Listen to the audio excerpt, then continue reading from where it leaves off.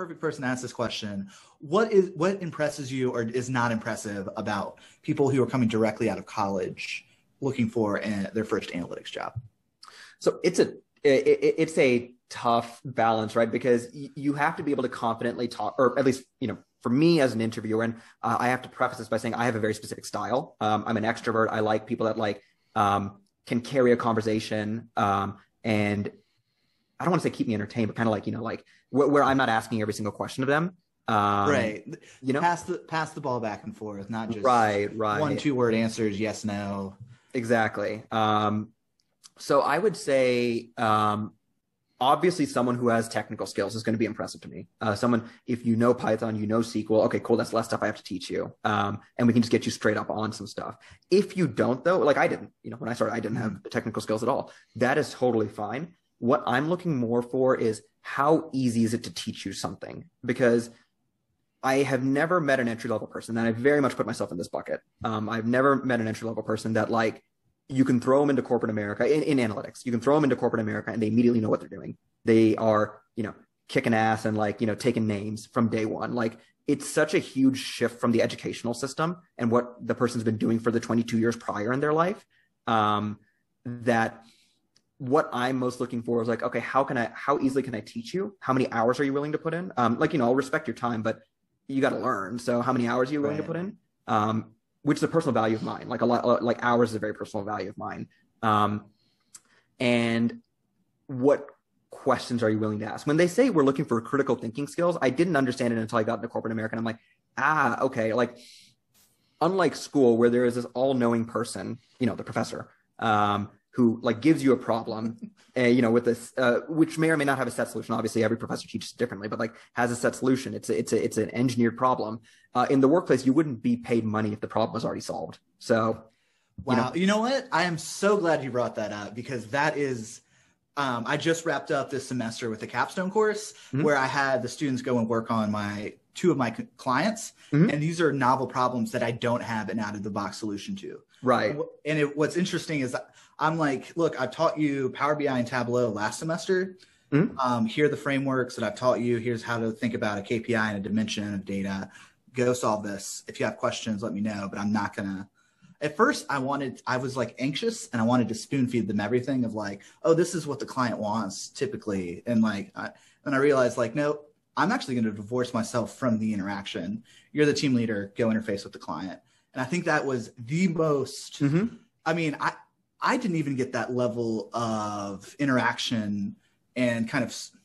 I guess it's yeah. It's how do you teach critical thinking? I think I didn't even get that in my MBA program. I mean, we kind of mm-hmm. we did a capstone course, but it wasn't like these weren't real problems that the company um, was actively like, hey, this is worth I don't know fifty thousand dollars to us if we can get this right.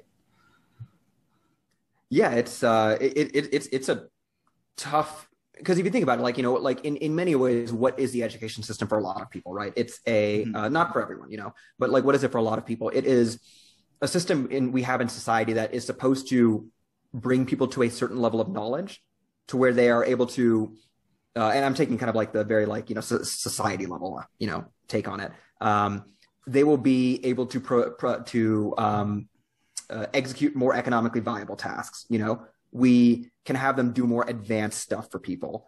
Um, and especially in the age of the knowledge worker, which is like kind of the age we're in right now, right? Um, you are not going to be given direct instructions on how to like accomplish stuff because that stuff can just be given to a robot. You know, RPA is totally a thing. Uh, right. you know, you know, th- th- these tasks that can just be given to people or given to you know uh, computers aren't going to be given to people anymore. So the real question I think is like, how well can you solve problems?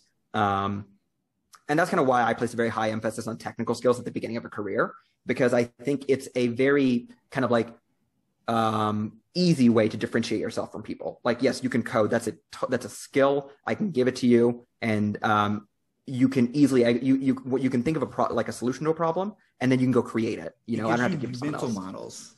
Yes. It gives you models of like, okay, this here's here's this specific problem. Here's how I would solve this with Python. Here's how I would solve it with Tableau. Mm-hmm. And it gives you like a kind yeah, kind of like a little methodology to like solve the. I almost call them like little little castles, little fiefdoms of like here's the well because that's how I think. That's how I built my consulting agency. It's like here's how I solve sales analytics. Here's mm-hmm. how I solve marketing analytics, and then I, I package it up, and then I can go and I can communicate it to you know president cfos whoever mm-hmm. cmos whoever's like potentially interested in implementing analytics.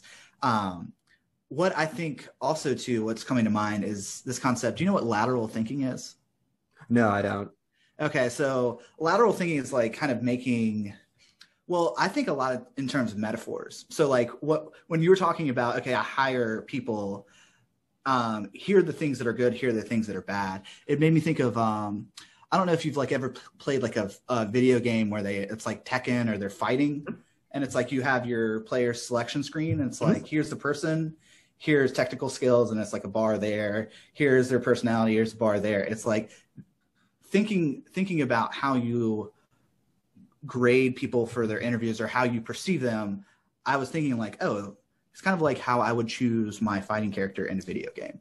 Yeah, I think that's actually a tremendous way of like thinking about it. Like certain characters have different abilities, um, right. but you don't win. Um, assuming that you're not playing with a broken character, right? You don't win a, a, game by just mashing the buttons and randomly just like throwing like Python, Tableau, Power BI at like the problem. You're like, okay, no, no, no, no. You know how to do these things. Um, and what I'm looking for is how do you implement these different moves, these different things you know to solve the problem. Because, uh, like, like, like I said, I, I, I think um, uh, from my first job to my second job, I was doing a lot of the same work, um, but I was using Python instead of Alteryx to get the job done. But you know, th- there's more than one way to get the, the, the, job done. And if you use a tool like Alteryx, for example, you don't need to know coding at all. Or uh, Tableau now released Tableau Prep a couple of years ago. Um, they actually released in the middle of my like that first job I had. Um, wow. Yeah, and it's it's free software that comes with uh, Tableau, like a Tableau desktop license, um, and you can accomplish a lot of stuff that would normally require Python or Power Query with mm-hmm. Tableau Prep. Um, and so I, I, think you're exactly right. Like the, the, fighting game metaphor is like a like a great way to think about it. Like you have your technicals, but how do you how you apply them is really what makes you useful to people. Right. I'm going way too deep into this metaphor because uh, also I was thinking too, like people are just looking for the cheat codes. They want to like, what is this? What is the superpower that can just mm. get you through this? But okay, so if we have like an attack stat and a defense stat, I would say maybe the attack stat would be like your technical acumen. Mm-hmm. Your defense stack might be your business acumen. So understanding Correct. like, okay, so I don't know that much about coding or Python, but maybe I can study marketing and mm-hmm. learn kind of how to apply data and numbers and what is the game that's being played there and then I can in the background start to build up that that technical acumen. And that's exactly um, what I did. You know, I, I came with some knowledge of supply chain, and I built mm-hmm. the technical acumen on the job. Um, I, I, really have to emphasize that. Like a lot of the stuff can be built on the job. You know, just put in an hour or two after work, or even in work. You know, if you're if you're lucky enough to have a manager that allows you to take a little bit more time on tasks to try it in a different method. Uh,